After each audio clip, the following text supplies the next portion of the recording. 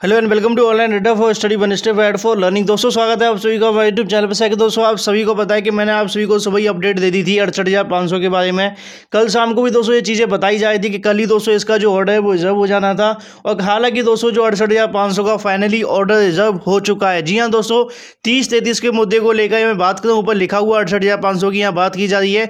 कोई परेशान ना हो कि अभी उनहत्तर हज़ार को लेकर उनहत्तर हज़ार की यहाँ सुनवाई नहीं है। अगली सुनवाई दो तारीख को होने वाली है। मैं अभी बात करने आऊँ दोस्तों अड़सठ हज़ार पाँच सौ के बारे में। जैसा कि दोस्तों, कल शाम को ही मैंने आप सभी को बताया था कि कल ही इसका ऑर्डर रिज़र्व होने की पूरी संभावना थी, लेकिन किसी कारणवश दोस्तों नहीं हो पाया, क्योंकि जो जितने भी सीनियर एडवोकेट हैं, वो वहाँ पे उपलब्ध नहीं थे। दोस्तों, आज सारे के सारे एडवोकेट वहाँ उपलब्ध थे और उनकी दोस्तों उपस्थिति के सामने ही सारा का सारा जो ऑर्डर है, वो रिज़र्व कर दिया गया। आखिर में दोस्तों, अगर मैं बात करूँ आलोक कुमार नदर्स के द्वारा जो याचिका डाली गई थी, उस एजेंडे पर दोस्तों बहस करने के लिए जो दोस्तों लखनऊ से आए हुए थे, जैसा कि सीनियर अधिवक्ता आप सभी को बताऊँ, जयदीप नारायण माथुर जी और सुदीप सेठ जी दोस्तों कोर्ट में आज जो उनकी तरफ़ से बहस देखने के लिए मिली री ज्वाइंटर पर। और जैसे दोस्तों उनकी बहस समाप्त हुई, उसके बाद से दोस्तों जो ऑर्डर है वो कर दिया गया रिज़र्व तीस तैतीस के मुद्दों को लेकर दोस्तों जो ऑर्डर है वो रिज़र्व किया है, अब्दुल मोइन जी ने कोर्ट नंबर बीस के अंदर। हालाँकि दोस्तों आगे की जो भी अपडेट होगी, एक बार दोस्तों आप सभी के सामने ऑर्डर आने के बाद बता दी जाएगी। मेन ऑर्डर तो अभी तक नहीं आएगा, सिर्फ़ दोस्तों जो अपडेट का ऑर्डर आप सभी के सामने शाम तक अपलोड हो सकता है, उसको लेकर एक बार फिर से मैं आप सभी के सामने वीडियो बना दूँगा।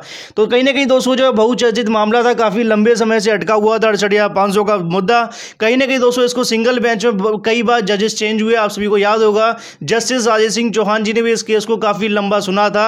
और उसके बाद से दोस्तों अब्दुल मोइन जी इस केस को सुन रहे थे। और लगातार दोस्तों, उन्होंने एडिशनल केस अंदर इस केस की सुनवाई की। और कहीं ना कहीं हर बार इस बात को लेकर चीज़ें निकल रही थी कि उनहत्तर हज़ार से पहले अड़सठ हज़ार पाँच सौ का ऑर्डर रिज़र्व हो जाएगा, जो कि दोस्तों हो चुका है। आज के दिन अड़सठ हज़ार पाँच सौ का ऑर्डर रिज़र्व हुआ है। अब सबसे बड़ा सवाल आप सभी के मन में आएगा कि सर ऑर्डर कब तक आने की है देखो इस चीज़ को लेकर कोई निर्धारित तिथि नहीं होती है। अगर आपको याद होगा टीईटी दो के बारे में। टीईटी 2017 का जो दोस्तों ऑर्डर आप सभी को देखने के लिए मिला पंद्रह तारीख को रिज़र्व हुआ था बीस तारीख को पब्लिश कर दिया गया था। तो लगभग दोस्तों चालीस दिन के अंदर वो ऑर्डर आप सॉरी पैंतीस दिन के अंदर वो ऑर्डर आप सभी के सामने निकल करके आ, आ गया था। और ऐसे ही सिंगल बेंच में अगर उनहत्तर हज़ार के ऑर्डर को लेकर मैं बात करूँ तो वहाँ पर भी दोस्तों यही चीज़ें देखने के लिए मिली थी।